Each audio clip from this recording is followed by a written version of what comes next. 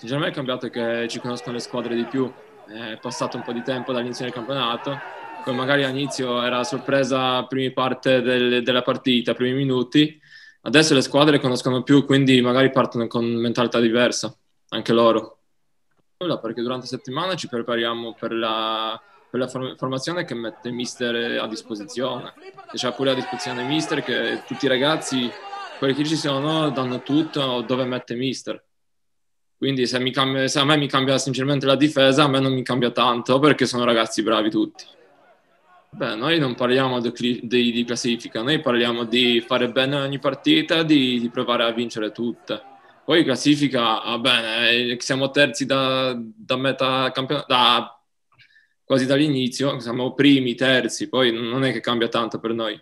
Ci concentriamo di fare bene ogni partita, poi, eh, poi si può vincere, si può perdere pure. Sicuro siamo una sorpresa perché durante l'estate si è cambiato tanto, che poi al fatto del Covid sappiamo tutti come era il campionato scorso. Eh, poi sicuramente siamo una sorpresa a, a, nostro valore, che siamo riusciti a fare grandi cose e speriamo di, di riuscire ancora a fare altre buone partite. Beh, io sono stato sempre qua contentissimo, mi trovo bene a Teramo, quindi se dovrei rimanere sicuramente sono contento. Non, mi trovo bene a Teramo. Quindi sono passati poi pure quattro anni, sono più anni di tutti a Teramo.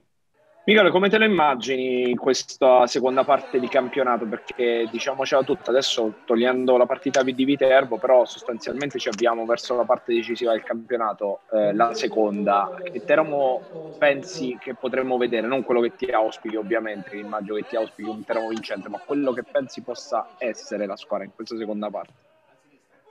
Beh, ci siamo preparati bene durante, dopo pausa natalizia e durante questi dieci giorni prima dell'Avellino eh, si è visto anche contro l'Avellino che certi aspetti abbiamo migliorato. Sicuramente siamo stati molto aggressivi e abbiamo mantenuti a tanta, tanto tempo a sua metà campo.